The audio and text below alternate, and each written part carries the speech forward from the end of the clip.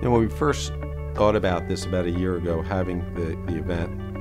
um, we were very, um, felt it was very important for us to um, help government agencies think about um, doing things um, faster, quicker, um, doing more with less. And typically, when you use the word agile uh, in our business, you think about agile development, which is obviously a very important concept that is used in the market today or maybe agile acquisition, which is you know faster acquisition. When I when we thought about this concept of um, you know agile government summit, it was more about helping um, federal agencies and thought leaders uh, getting insight into um, bringing solutions uh, back to their citizens or constituents in a um, faster, more efficient, and effective way. So our concept of agile is, you know, how do we take advantage of what's available in the market today, and you know, faster time to market, faster faster value. I think the, I think obviously by having coming to a, a session like today is, is a great first step and being open to new concepts and new ideas, hearing from trailblazers and thought leaders in both academia and industry and in government that have um, done some of these things and look at best practices. But I think it's it's a it's a mind shift that you know, I have lots of meetings with lots of government executives in my current role, and um, this concept of you know getting um,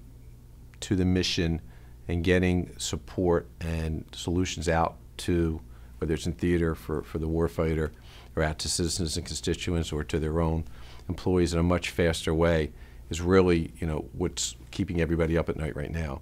And there's so many uh, budget constraints and and initiatives that you know they have to make decisions.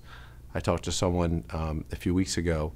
where they normally looked at decisions within each line of business. Now with budget constraints, they say you know not only do I have to look at each line of business, but I'm making decisions between lines of business. And so do I cut here or do I cut here? Not do I just cut within the budget? And so this this idea of you know making these analytics decisions in an agile environment, you know, it becomes even more critical. I think there's a lot of examples. Um, I think um, one one thing that we're doing is we're trying to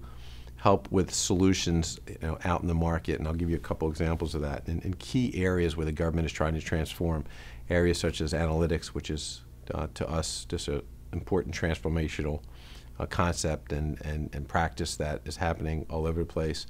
Um, in areas of cloud computing, uh, mobile, and social are really the four big areas that, that we see um, opportunities for the government to become um, more efficient and more effective in, in how they provide um, services and support you know, out to their, to their mission. Um, one example in analytics is uh, this concept of insider threat, where um, instead of you know uh, doing things where they're you know putting out homegrown systems, there's technologies out there today that can look at non-obvious relationships,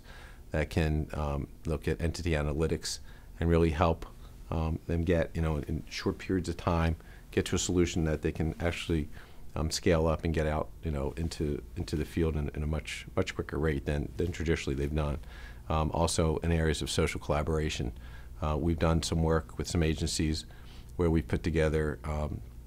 um we actually hosted a, a, a conference where um, everybody had a sample of, a, of the collaboration on a tablet, and they were able actually to see it in, in, real time and get a feel for it versus just a concept in a PowerPoint paper. So we're trying to actually get the tools in people's hands. So it's really, uh, it's very transformational.